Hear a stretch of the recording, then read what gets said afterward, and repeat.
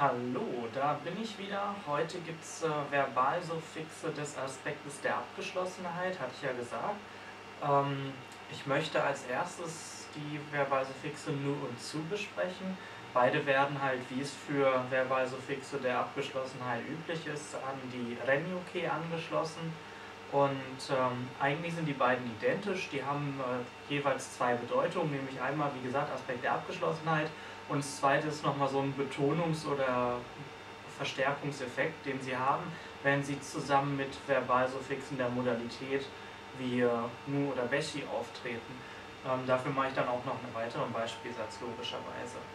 Ähm, hier geht es jetzt erstmal ganz einfach um den Aspekt der Abgeschlossenheit. Und weil nun zu identisch sind, mache ich äh, insgesamt drei Beispielsätze, wo mal diesmal das vorkommt. Ähm, es gibt eigentlich nichts Besonderes, äh, wo drin die sich unterscheiden. Ähm, nu flektiert wie ein Verb der nahen Verbklasse, also ein äh, unregelmäßiges Na-Verb. Ähm, und zu flektiert wie ein Verb der Verbklasse Shimonidan. Und ähm, es gibt die grobe Faustregel, dass man sagen kann, dass zu an Tadoshi angeschlossen wird, also an äh, transitive Verben, während nü an Jidoshi, also intransitive Verben, angeschlossen wird. Als Beispielsatz, um hier den Aspekt der Abgeschlossenheit zu demonstrieren, habe ich einen Satz aus dem Konjaku Monogatari genommen. Ähm, drittes Kapitel oder dritte Rolle, 23. Geschichte müsste das eigentlich sein. Ähm, die Geschichte ist, äh, handelt von einer Frau eines wohlhabenden Mannes, die sehr geizig ist und nichts teilen will. Und ähm, deswegen halt auch sehr rücksichtslos und habgierig und so weiter und so fort ist. Und äh, einer der Schüler Buddhas, ein gewisser Bindora, ähm, oder Pindora, stimmt, Pindora, ähm, macht sich halt auf den Weg zu dieser Frau, um sie halt zu bekehren und um sie dazu zu bringen, halt äh, nicht mehr so geizig zu sein und Gutes zu tun. Ja, und ähm, darum geht es dann auch in diesem Beispielsatz hier, den ich jetzt mal vorlese. Kano kendon nyo ga kiwamete jake naru o kyoka semu ga tame ni kano onna no ie ni itarinu das Nu als äh, Verbalsuffix steht natürlich am Verb oder an einem Verb, nämlich an dem Verb am Satzende, dem Prädikat des Satzes. Ähm, hier fehlt natürlich mal wieder das Okurigana. Eigentlich äh, lautet das Verb ja Itaru und entsprechend äh, müsste hier noch ein Ri stehen, wegen des äh, Renyoke-Anschlusses von Nu. Aber das ähm, ist natürlich mal wieder ausgelassen worden, weil der Schreiber da gerade Lust drauf hatte.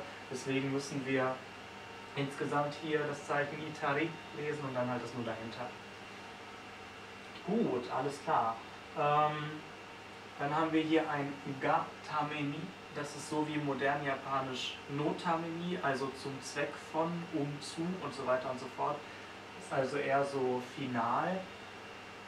Ähm, hier ist halt die Besonderheit, dass wir die Partikel Ga statt der Partikel No haben. Das äh, kommt aber im, im vormodernen Japanisch häufiger vor, dass ähm, gar anstelle von No steht. Es gibt gewisse Situationen, in denen das standardmäßig der Fall ist, werde ich aber später auch nochmal darauf eingehen. Ansonsten gab es öfters mal No, kann man sich schon mal so merken. Ähm, hier oben derselbe Fall, da haben wir auch ein Gar und es ist auch wieder ein No, also eine Genitivpartikel. Äh, entsprechend, wenn das hier eine ähm, Genitivpartikel ist, muss davor natürlich ein irgendwie substantivischer Bestandteil stehen. Und hier haben wir ja Kyoka Semu. Äh, mu ist das Verbalsuffix der Vermutung, das wir kennen. Mu, das angeschlossen ist an die Misen Käfer Su, tun, machen. Und dann äh, Kyoka, also bekehren oder belehren und verändern machen, also jemanden belehren. Und ähm, beim Verbalsuffix mu sind die Rentaike und die Shushike ja identisch. Entsprechend ist das hier, weil es ja dann substantiviert sein muss, wenn die Partikel gar dahinter steht, ähm, ein mu in der Rentaike. Ähm, das nächste, was wir haben, wenn wir dann wieder, wie wir es eigentlich meistens machen sollten, von hinten nach vorne gehen, ähm, die Partikel O. die das direkte Objekt markiert und davor haben wir ein Naru. Ähm, und vor dem Naru haben wir noch drei Schriftzeichen. Ähm, das hier heißt so, also man liest es Kiramete und es heißt ähm, sehr stark, äußerst, extrem, also es ist wirklich sehr, sehr stark schon. Und äh, Jaken kennt man aus dem modernen Japanisch, das ist ein Keodoshi und bedeutet ähm, boshaft, böswillig, grausam, von sehr schlechtem Charakter und so weiter und so fort. Und äh, das ist ein, auch im Vormodell ein Kyodoshi und wir haben ja zwei Kyodoshi, nämlich einmal die Kyodoshi, die als flektierenden Bestandteil Nari haben, so wie hier, und die, die als flektierenden Bestandteil Tari haben. Und äh, hier ist es entsprechend eins mit Nari, das endet hier aber auf die Silbe Ru, also Naru, ist entsprechend auch eine Rentaike, entsprechend also auch substantiviert. Also das ist quasi das Boshaftsein im Akkusativ, also als direktes Objekt, beziehungsweise das äußerst Boshaftsein. Und ähm, Ga, beziehungsweise statt No, äh, wessen Boshaftsein einer Frau, einer Kendon Frau, einer geizigen Frau und Kano, weil die Frau vorher schon mal erwähnt wurde, also jene geizige Frau.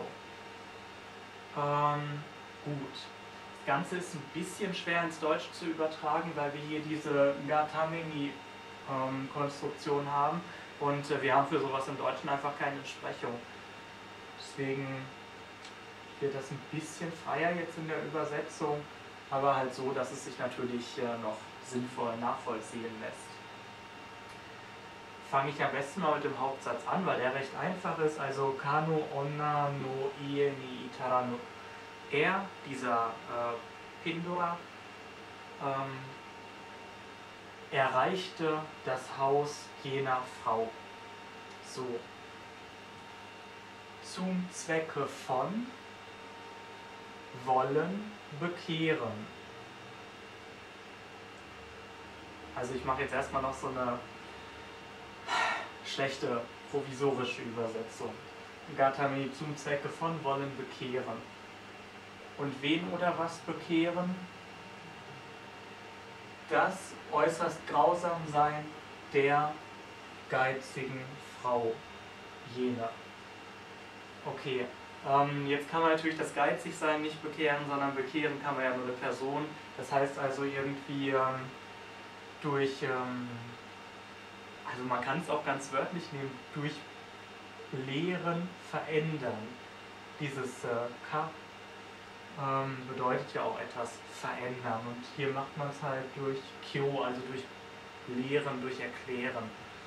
Ähm, gut, also er erreichte das Haus jener Frau zum Zweck von wollen durch Belehrung verändern, wen oder was die Boshaftigkeit oder die äußerste Boshaftigkeit jener geizigen Frau. Und dann jetzt nochmal in schönem Deutsch, damit man es insgesamt in einem Kontext hat, ähm, versuche ich das mal hier kausal, also mit weil wiederzugeben. Oder nee, ich mache es ruhig äh, trotzdem äh, final. Also,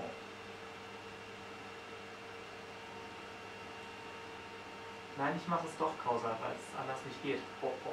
Also, ähm, weil er